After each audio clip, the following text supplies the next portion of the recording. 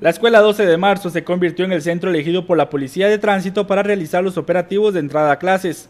El control de velocidad fue la principal prioridad de los oficiales. Además se aprovechó para hacer un llamado a la prudencia al momento de estacionar, pues muchos suelen dejar los vehículos a un lado de la ruta interamericana sur, lo que genera presas y problemas de libre tránsito a los demás conductores.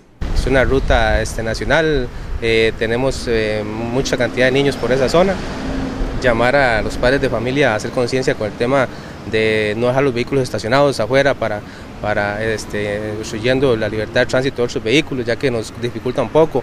Igualmente el tema de, circular vehículos por la acera en esos lugares, por lo menos estos días que hemos estado ahí no se ha presentado la situación. Eh, una cosa es un ingreso de, la parte de la Interamericana a una zona de estacionamiento y otra cosa muy diferente es el tema de circular por la, por la acera. Entonces, eh, llamar a responsabilidad a los conductores o padres de familia o mismos educadores del centro educativo para que este, hagamos conciencia de la buena utilización de, de, esa rampa para ingreso a, zonas de estacionamiento. Y básicamente se ha mantenido bien y tranquilo, gracias a Dios, con el tema del transporte público. Con respecto al resto del año, muchos critican la acción policial, argumentando que el oficial solo aparece a resguardar el orden vial en los primeros días de clases. Luego, durante el resto del año, afirman que no se ven los oficiales de tránsito cerca de las escuelas y colegios. Ante esto, así respondieron desde la dirección cantonal. Sí, eh, todo lo que sea crítica constructiva siempre es bueno para cambiar, ¿verdad? Hay que mejorar. Eh, de hecho, que nuestras eh, funciones siempre radican en la cantidad personal que tenemos y eso hay que hacerlo claro a la ciudadanía.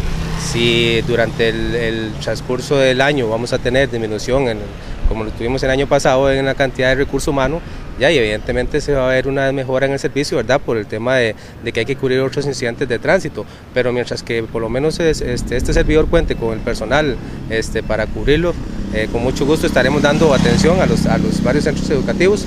De momento nos mantenemos con el recurso mínimo, que sería dos oficiales por turno de servicio, que es lo que tenemos ahorita, entonces con eso es lo que tenemos que trabajar. La falta de personal en ocasiones le pasa una cara factura al gremio.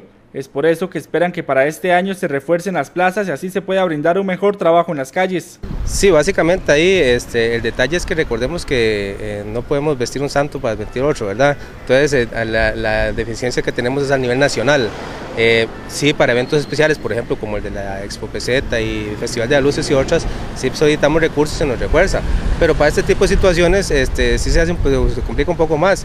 Eh, gracias a Dios el gobierno está trabajando con el tema de contratación de oficial de tránsito, que era el último concurso que recibimos todas las ofertas de servicio en diciembre. Esperamos ver frutos de, esa, de ese reclutamiento, de esa selección de personal que se está haciendo y para esperar ya y tener más, este, más recursos humanos acá en la zona para dar un mejor servicio. Durante el primer día de clases en la región Brunca se realizaron 12 multas a bucetas de transporte de estudiantes que circulaban sin permisos o con anomalías en sus trámites legales.